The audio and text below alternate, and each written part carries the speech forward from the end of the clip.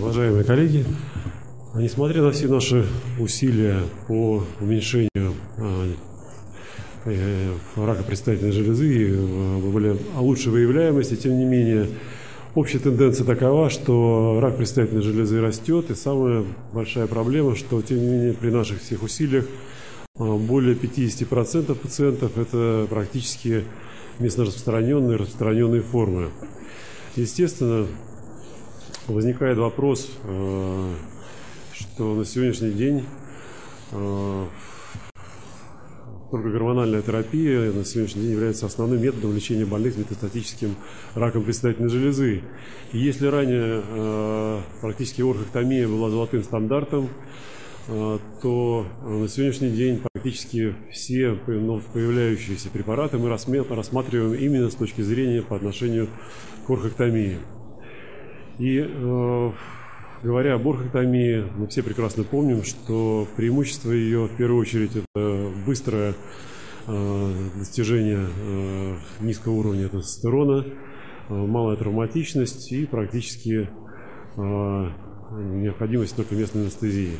По мере появления э, новых фармпрепаратов э, в нашем арсенале появились агонисты, и которые, в общем-то, достаточно быстро завоевали популярность за счет того, что они эффективно снижали уровень тестостерона, а, практически были сопоставимы по своему эффекту с билатеральной варктомией и позволяли, в общем-то, получить обратимую кастрацию пациентов.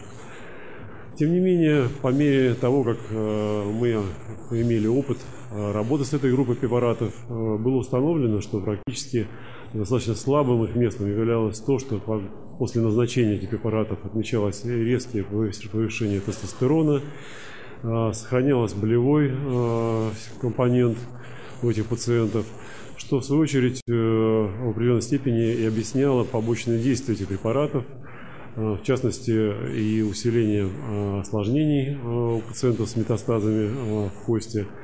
То есть эти препараты показали, что у них была и слабая сторона. Кроме того, вот эти эффекты всплеска тестостерона при назначении не только какого-то одного препарата, а целой группы, этой группы, группы препаратов показали, что этим препаратам при назначении необходимо добавление антиандрогенов для того, чтобы ликвидировать эффект вспышки. И именно э, назначение комбинированное, то есть э, элемент в течение недели максимальной антидрогенной блокады позволяло нивелировать вот этот побочный эффект э, повышения уровня тестостерона. По мере того, как появлялись новые схемы назначения препаратов, стало, стал более активный интерес проявляться максимальной антиандрогенной блокаде. Однако э, последующее изучение э, эффекта максимальной антиандрогенной блокады показало, что практически и она не отвечает полностью э, на 100% нашим запросам и интересам пациентов. Не у всех пациентов проходили боли, улучшалось общее состояние, не у всех пациентов снижался уровень щелочной сфотазы. И э, результаты метаанализа максимальной андрогенной блокады показали, что практически улучшение общей выживаемости э, было незначительным, хотя максимальная антиандрогенная блокада э, достаточно была э, существенно затратна по стоимости, по побочным эффектам.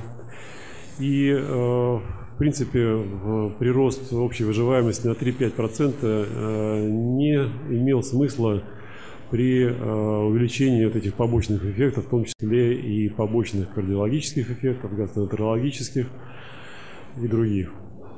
Поэтому появление в нашем арсенале препарата э, Дегреликс э, практически позволило расширить арсенал тех препаратов, которые широко используются в лечении метастатического рака предстательной железы.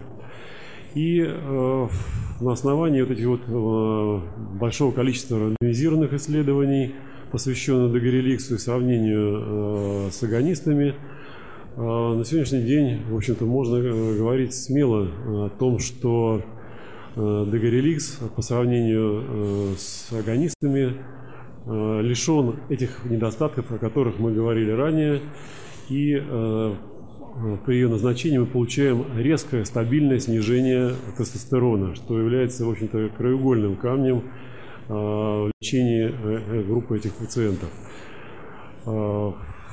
Кроме того, помимо быстрого снижения обеспечивается стойкое снижение тестостерона, достаточно стабильное.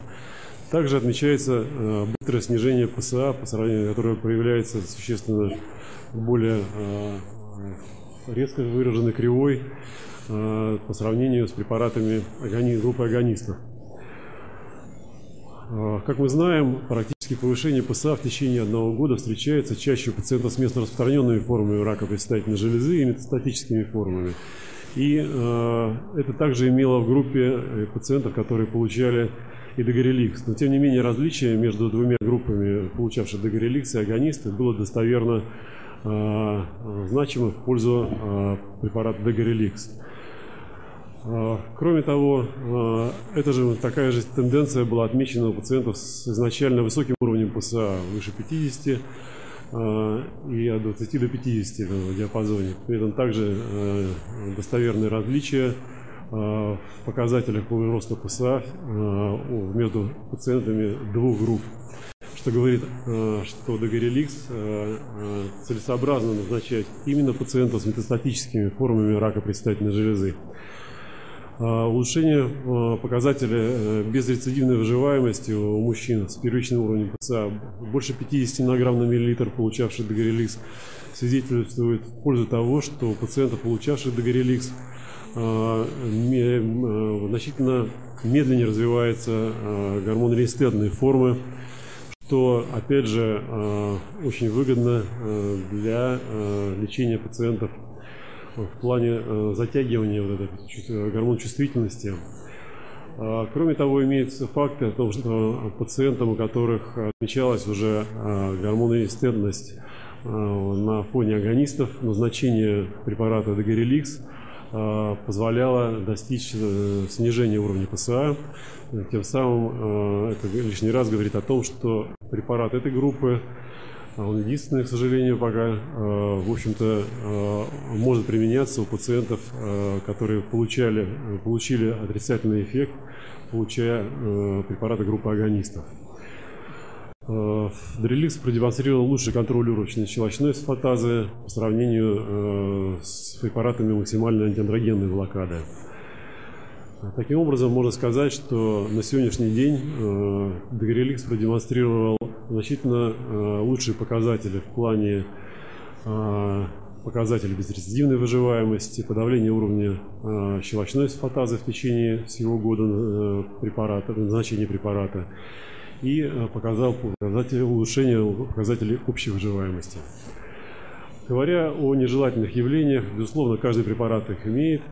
И э, в плане догореликса хочется сказать, что основная проблема, с которой мы сталкиваемся при назначении этого препарата, это является местная реакция в зоне инъекции препарата она достаточно э, варьирует у каждого пациента, но э, у некоторых, к сожалению, она бывает достаточно выражена. Но тем не менее, когда пациент информирован о такой возможности, как правило, в общем-то, все тревоги его буквально через день-два сходят на нет.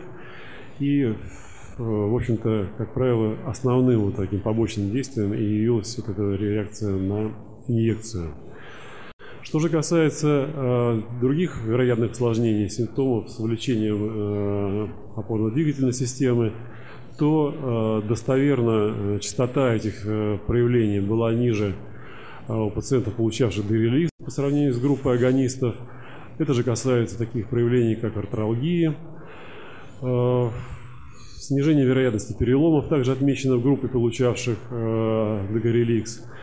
Кроме того, достаточно э, интересна была э, информация о том, что группа, получавшая Дагереликс, э, по сравнению с максимальной группой, получавшей максимальную антиандрогенную блокаду, получила существенное снижение симптомов нижних клинических проявлений симптомов нижних мочевых путей, что понятно, значимо и важно у пациентов пожилого возраста, у которых есть и, помимо рака и аденома предстательной железы, есть проблемы с мочеиспусканием, поэтому в этом плане, э, опять же, назначение этого препарата заслуживает внимания. Таким образом, можно сказать, что сравнивая в общем-то, наиболее распространенные препараты, которые применяются для лечения метастатического рака предстательной железы, это агонисты и антагонисты, можно сказать, что антагонисты имеют существенные преимущества перед э, препаратами, э, которые широко раньше использовали, группы агонистов.